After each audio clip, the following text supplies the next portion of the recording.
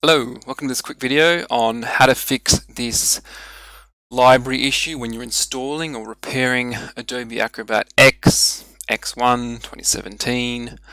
It's amazing you can get it in every version and it's basically caused by a bunch of Windows updates. So if you're still hanging in there with Office 2010, it's going to most likely be the Service Pack 2 update, which is KB3072630. And you can try and roll back, but sometimes with Office you can't roll back service packs. So there is a way around this, and this is to install Adobe or repair Adobe using the system account. The system account will allow you to register these files and you won't see this error. So how does one do that? So what you want to do is grab a tool called PS Tools or PS Exec. So head over to Google, go to PS Tools, PS Tools, Windows Sysinternals, and we download that one.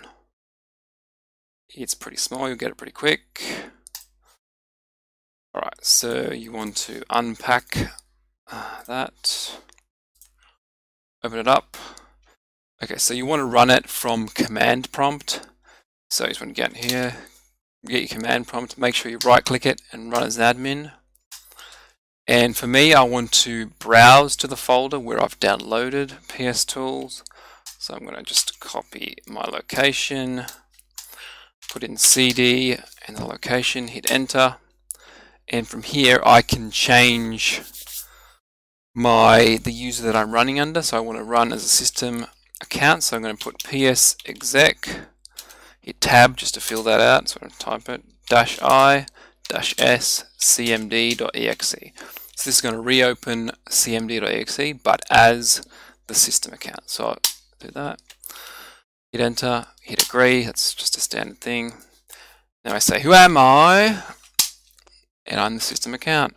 So if you have a Adobe installer, say in your downloads directory, which I just grabbed that from the web, you can download that. You can pretty much get any version you open your system one, you browse to your downloads folder and you can execute the installer. Bingo! And you can begin and you'll go through, you'll find that that, uh, that TLB file will register correctly. If you find you've already got Adobe, you don't want to reinstall it, you can simply go appwiz.cpl.